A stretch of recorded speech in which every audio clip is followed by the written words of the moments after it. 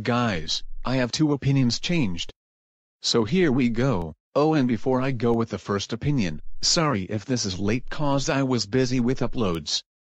But anyways, here we begin. First opinion, I now lost interest on MUQRI Muhammad also known as Splat Live. Second opinion, I now lost full interest on PGGF 5000. Reasons will be in the description, but anyways. This is me, signing off.